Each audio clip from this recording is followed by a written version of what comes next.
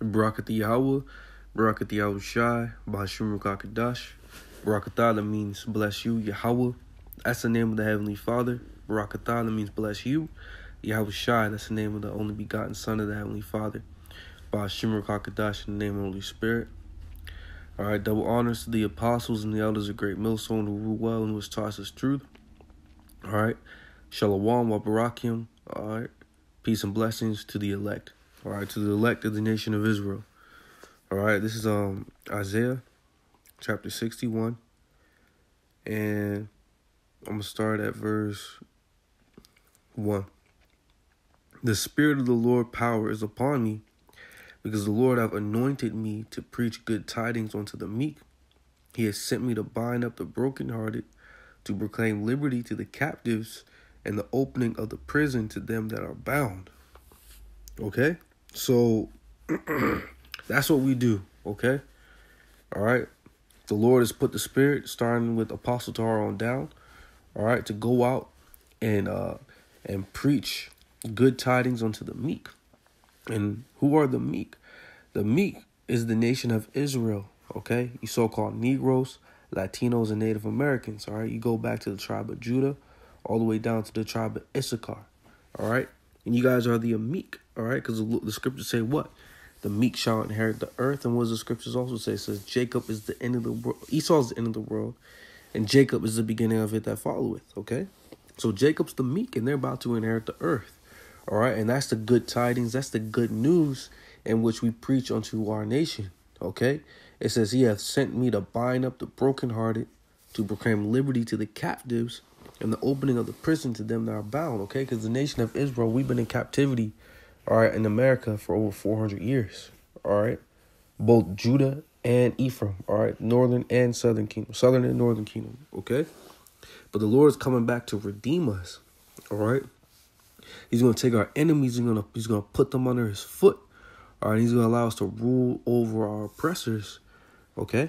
Verse two it says to proclaim the acceptable year of the Lord, and the day of vengeance of our power to comfort all that mourn. Okay because we're in a state of mourning. The nation of Israel is in a state of mourning right now, okay?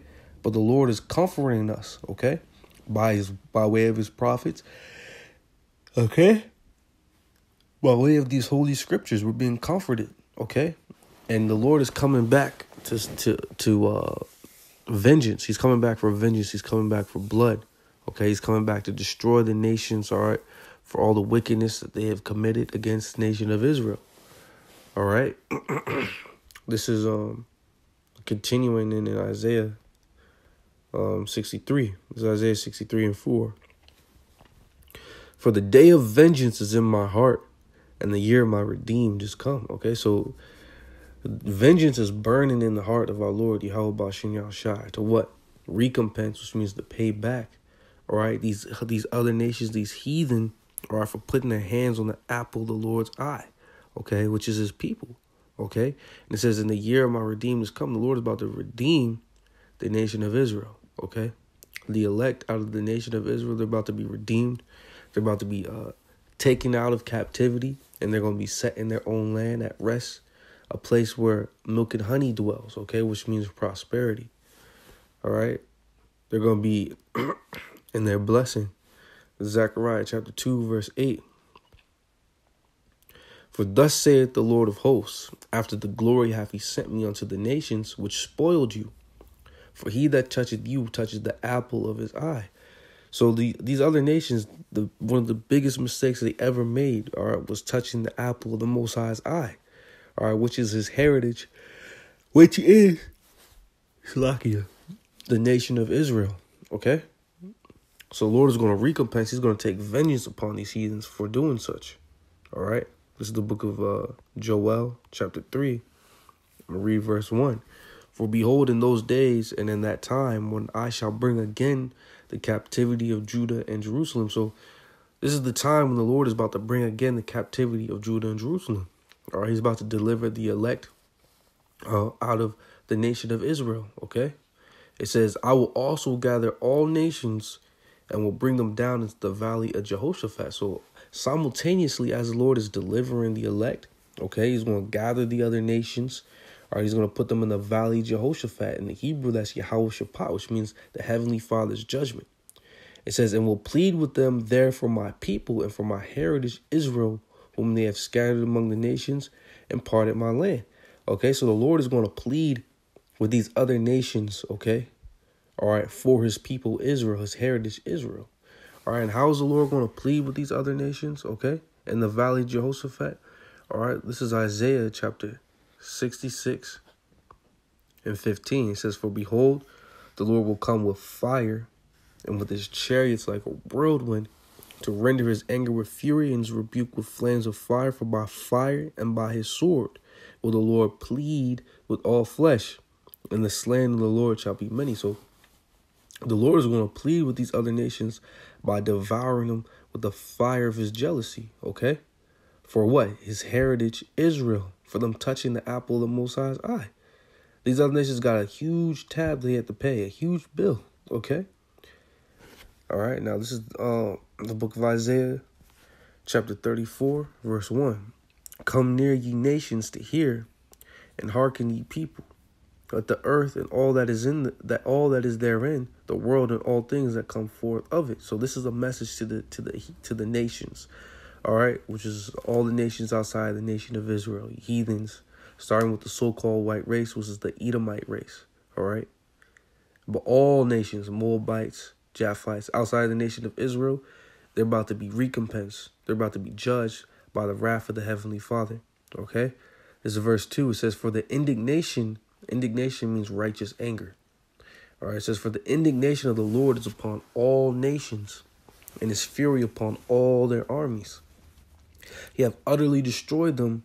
He hath delivered them to the slaughter. So the Lord, his his righteous anger is upon all nations and his fury upon all their armies. All right, he's, he's going to destroy them. All right, he has delivered them to the slaughter. Okay. Their slain also shall be cast out, and their stink shall come up out of their carcasses, and the mountains shall be melted with their blood. And all the hosts of heaven shall be dissolved, and the heavens shall be rolled together as a scroll, and all their hosts shall fall down as the leaf falleth off from the vine, and as falling fig from the fig tree. So the Lord is going to destroy them by way of nuclear destruction, thermonuclear destruction. Okay? All right, now this is the book of Zephaniah, chapter 3. We'll read the eighth verse. Therefore, wait ye upon me, saith the Lord until the day that I rise up to the prey. For my determination is to gather the nations, that I may assemble the kingdoms, to pour upon them my indignation, even all my fierce anger, for all the earth shall be devoured with the fire of my jealousy. So the Lord told us to wait, wait upon him, wait for him. Because what? His determination is to gather the nations. All right, how is he gathering them? He's bringing them to the valley of Jehoshaphat, okay, the Middle East. Okay, it says to what? Pour upon them his indignation, even all his fierce anger. All right, what is his fierce anger? What is his indignation? That's that thermonuclear missile, and that's the that's the fire from those holy chariots, the hosts of heaven, when the Lord comes. All right. It says, For all the earth shall be devoured with the fire of my jealousy. So the Lord is jealous over what? His woman. Okay? His woman was was ravished or, or taken by these other nations. So the Heavenly Father is going to kill these other nations for touching this woman by way of fire, okay? And that's the hope. That's what we're hoping for, all right? This is Isaiah chapter 14, verse 1. For the Lord will have mercy on Jacob and will yet choose Israel, okay? The Heavenly Father has never dealt with these other nations, okay? These other nations um, thought that they, they were going to take our place or something, okay? But the Heavenly Father is laughing at them, okay? This is Isaiah 14 and 1. For the Lord will have mercy on Jacob and will yet choose Israel. So the Lord is going to choose you, so called Negroes, Latinos, and Native Americans, all right? And set them in their own land, and the strangers shall be joined with them, and they shall cleave unto the house of Jacob. Okay, so the Israelite foreigners, right, they're going to cleave to the nation of Israel. All right, when the Lord sets us in our own land, okay, because we're going to be delivered out of America and we're going to be placed back into our rightful land, which is Israel. Verse 2, it says, And the people shall take them, and, this is talking about the heathen, and bring them to their place, and the house of Israel shall possess them in the land of the Lord for servants and handmaids. So we're going to take the heathens, and they're going to be our slaves in the kingdom of heaven.